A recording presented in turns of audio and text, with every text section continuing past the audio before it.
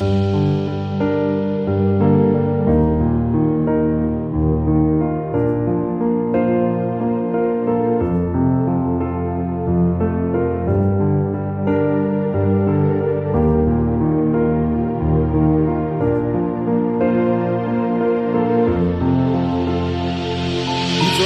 हाँसिरहेको मान्छे तर आज छैन कसै बितेर गएको देख्दा यो मनले मान्दैन वर्तमानको कालले धनी गरिब भन्दैन यो जीवन हो कोही अझम बढी रहँदैन कसरी खुसी हुन सक्छु चन्द्रमा नै उदास पानी परे भन्दा बढी आँसुको धोपा झरिरहेछ फुलेको फुल पनि एक दिन कोइलेर झर्छ बाउको सम्पत्ति छोराले सबै उडाइदिन्छ बाउको पसिनालाई महसुस गरी हेर आमाको दुःख र मेहनत नजाओस् कहिले खेरो एक पलको जिन्दगी हो फेरि आउँदैन फर्केर वर्तमानको काल आरे घाट गएर हेर म पनि मान्छे हो लाग्दा दुख्छ धेरै चोट वास्तविकै कुरा हो नि लाग्ने सबैलाई रोग कहिले पनि नमेटिने धन लालाजको बोके मेरो प्रार्थना कसले सुनिदिने पो हो कति माटोमा मिल्छ कति बन्छ खरानी निकै दुःख लाग्दो कुरा जानु पर्दा मलामी फेरि फर्की आउँदैन कराई चिच्चाइ रुँदा नि के गर्नु यो संसारको नियम यस्तै त हो नि। कति माटोमा मिल्छ कति बन्छ। खरानी निकै दुःख लाग्दो कुरा जानु पर्दा मलामी फेरि फर्की आउँदैन कराई चिच्चाइ रुँदा नि के गर्नु यो संसारको नियम? यस्तै त हो नि। सबै छाडी जाने हो नि।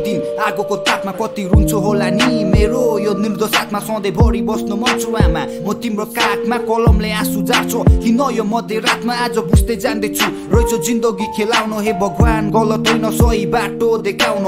गरिबलाई झुपडी धनीले धनले नलोभ्याउन सक्छ बनी झुपडीलाई महल बनाइ देखाइदेउन आज सबै बगान हेर मस्त निदाइरहेछ गणेशजी हेर्दै हाँस्दै लड्डु खाइरहेछ। शिवजी चिलिम तानेर मस्त भइरहेछ। जेजस क्राइस्ट अझै चापकै काठमै झुन्डिरहेछ अझैसम्म छैन भगवान कसैले देखेको सबैभन्दा ठुलो भगवान आमा तिमी नै हो तिम्रो कोखमा जन्म लिनु धेरै भाग्य मानि मो बहिनीको नाम लक्ष्मी सरस्वती तिमी हो कति माटोमा मिल्छ कति बन्छ खरानी निकै दुःख लाग्दो कुरा जानु पर्दा मलामी फेरि फर्की आउँदैन कराई चिच्चाइ रुँदा नि के गर्नु यो संसारको यस्तै त हो नि कति माटोमा मिल्छ कति बन्छ खरानी निकै दुःख लाग्दो कुरा जानु पर्दा मलामी फेरि फर्की आउँदैन कराई चिच्चाइ रुँदा नि के गर्नु यो संसारको नियम यस्तै त हो नि।